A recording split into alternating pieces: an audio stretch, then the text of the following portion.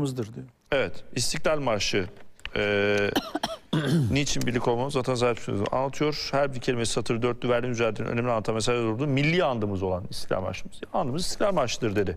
Sayın Bahçeli bugün kurultayda bir kez daha hatta delegelerle birlikte herkes ayağa kalktı. Ne mutlu Türk'üm diyene diyerek konuşmasını, teşekkür konuşmasını öyle sonlandırdı. Enteresan bir tabloyla karşı karşıyayız biz bu konuda. Yani CHP ve İyi Parti ve MHP andımızı okuması gerektiğini düşünüyor. Yanlışsam düzeltiniz.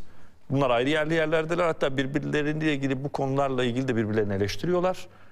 Ee, ama HDP'den ses yok. AK Parti, Gelecek Partisi, Saadet Partisi bu arada ee, yine Deva Partisi'nde böyle bir tavrı var. Nasıl yorumlar, nasıl değerlendirirsiniz? Evet. Şimdi efendim Danıştay e, Daireler Genel Kurulu'nun kararı yanlış. Hem hukuka aykırı hem de e, Türkiye'nin bugünkü koşullarına çok çok aykırı. Yani Türkiye bir ikinci İstiklal Savaşı veriyor ondan sonra ve e, burada Türk milleti, Türk vatanı, Türk kavramı e, çekirdek kavram. Yani bu e, çekirdek kavram etrafında bu mücadeleyi yürütüyoruz. Tam bu sırada e, o Türküz, doğruyuz, çalışkanız, yasam diye başlayan e, hepimizin çocukluğumuzdan beri okuduğumuz andın e, kaldırılması kararı hem de 8.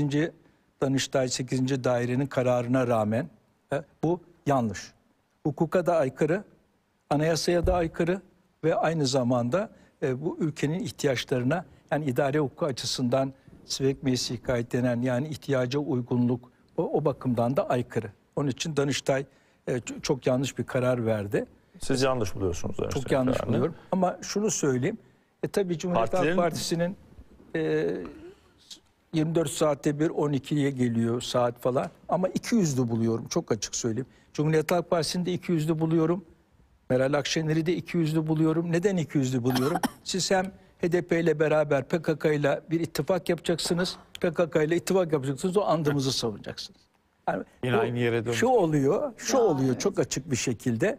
PKK yandaşları kalkıyor Tü- Türküz diye başlayan bir andı savunuyor. Zaten bulundukları ittifak Türk düşmanı. Biden ittifakı, Biden tayfası, Türk düşmanlığı, Türk milleti düşmanlığı, Türk vatanı düşmanlığının temelinde oluşmuş bir ittifak. Onun için e, eğer ikna etmek istiyorlarsa Türk milletini Meral Akşener veya Kılıçdaroğlu önce bu PKK ile HDP ile olan ittifaklarına net bir şekilde son verirler. O zaman ben onları alkışlarım.